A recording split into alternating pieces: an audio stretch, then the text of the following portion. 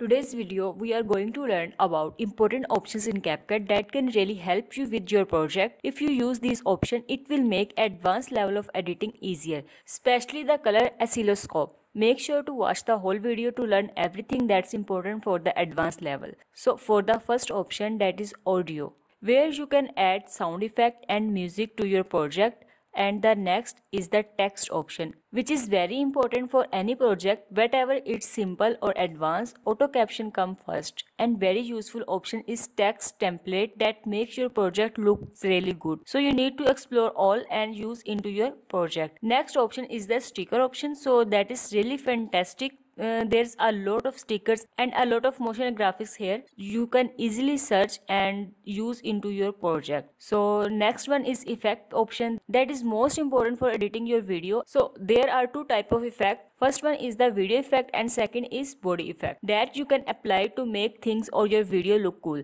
After that there are transition. Here are lots of different transition to move between scenes in your video. So as next is the filter which, which helps with color grading in your project. It's a quick way to change the overall look. Finally there's the adjustment feature. It's ensure that your video looks good on your timeline and you can apply colors to it using adjustment layer like here. I add an adjustment layer on top of a video, it ensures that the color grading effect not applied into your video. Like here I add an adjustment layer on top of the video. I lowered the temperature a little bit and increase the hue and decrease the saturation. Now look, if I move this layer a little further, here you need to notice the effect not apply on the video below. It's only apply on the adjustment layer. The advantage of the adjustment layer is that if you are working for a permanent client or for a brand, you can work on the color grading ones and save it as a preset and after that you can use for your next project like just click and drag onto your project and you can easily color grade of your video. If i showed you the adjustment layer i already saved i need to go to adjustment then preset.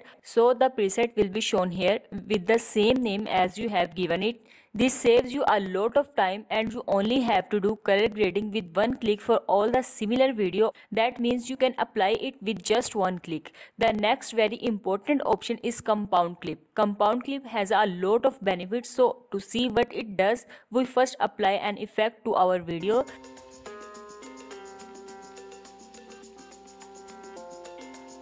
let apply edge glow now i want this edge glow not on this clip but only on a sticker icon or text that I need to have above of the video. So for that i will go to the sticker here okay and search by typing money. From here this dollar motion graphic which is my favorite. Now i want to add here top of the video.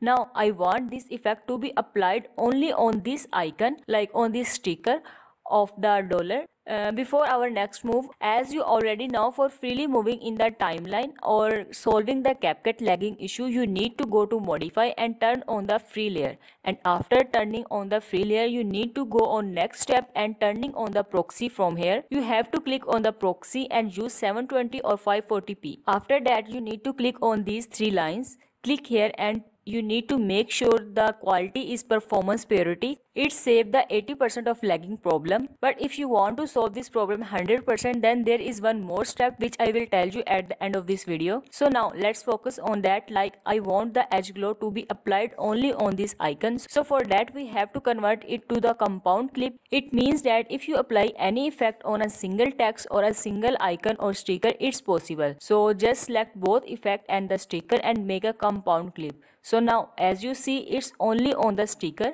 like the edge glow effect only on the sticker not below the video. Similarly, another very important use of the compound clip is that we use it to mask twice on the same layer. Let me show you with an example as I clicked on this video and clicked on the mask from here. I applied this mask to it now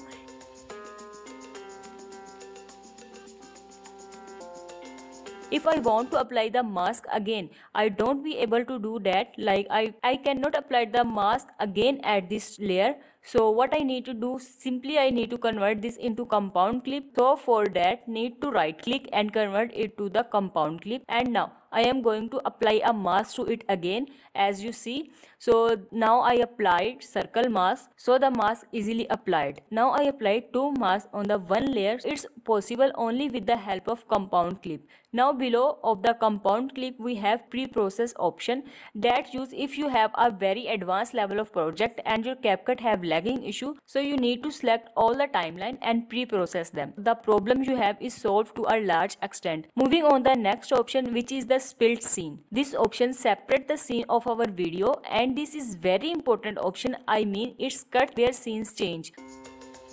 As you see, we are changing the scene, the cut applied automatically. So you can easily add transition. How easy and perfect way to do. It's very helpful when you working a project like long form video, convert into short form content or short form video. So for adjustments, simply use build scene so it's automatically cut the scene and you don't need to do it yourself. So as soon as the scene changes, the transition will come and the video looks great. So now we back it all and move the next option. For example, you have a edited video and now if you want to export a specific area, so you don't need to export the entire video. As here, I will click I for in and O for out. As I select it and go to export, look here after the setting here its duration which we selected with the in and out point and the range option is very similar but it select an area of a clip.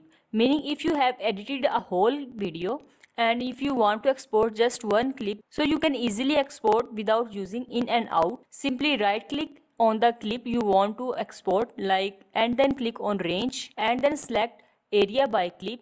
It will pick up the clip and you can easily export as many parts as you like now the next important feature is the speed. So here we use curve for the smoothness editing and best ease in and ease out effect into your video.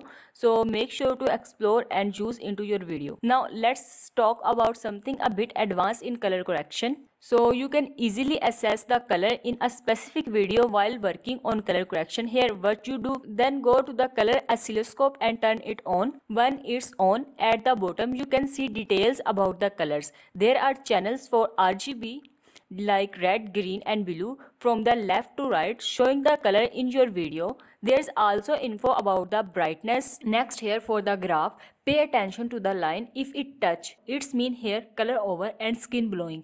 By paying attention to these visual, you can skillfully see how colors are spared throughout your video. If colors are well balanced, you will see an even distribution. But if there's an imbalance, it will be noticeable. This feature in the CapCut desktop editor is very useful for improving your ability to adjust and enhance colors in your video. Now, the next set of options related to audio enhancement. Within this category,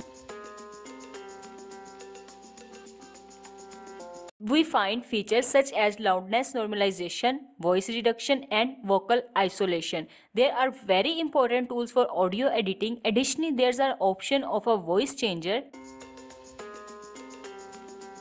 Moving forward, you can also fine-tune the speed of sound. See here how easy to enhancing the overall sound quality by using CapCut. Moreover, we can design a thumbnail or cover for our video. Select the cover for thumbnail. Once you select, click on the edit you can choose from various text template or create your own. Arrange the text in a visual appealing manner using the available options and once all adjustment completed, just click on finish. When you export your project, it will be included in the exported project. In summary, the recommended and smooth workflow involves proxy, maintaining performance quality, and during the editing phase, selecting specific in and out points to avoid lagging in the CapCut.